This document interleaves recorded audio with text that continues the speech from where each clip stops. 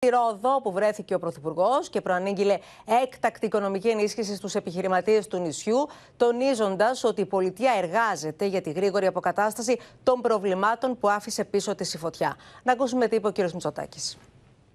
Θυμάμαι τις εικόνες που βλέπαμε εμείς, καίγεται το ένα χωριό, καίγεται το άλλο χωριό. Τελικά, ευτυχώς κανένα χωριό δεν κάηκε και οι ζημιές ήταν εξαιρετικά ε, περιορισμένες. Πρέπει σε μια κρίση να προτεροποιούμε ε, τις επιλογές μας. Πρώτη προτεραιότητα πάντα η προστασία της ανθρώπινης ζωής, αδιαπραγμάτευτη, αλλά και του ζωικού μας κεφαλαίου. Ακολουθούν οι περιουσίες και οι κρίσιμες υποδομές. Ακολουθεί στη συνέχεια ε, το, το δάσος και το φυσικό περιβάλλον.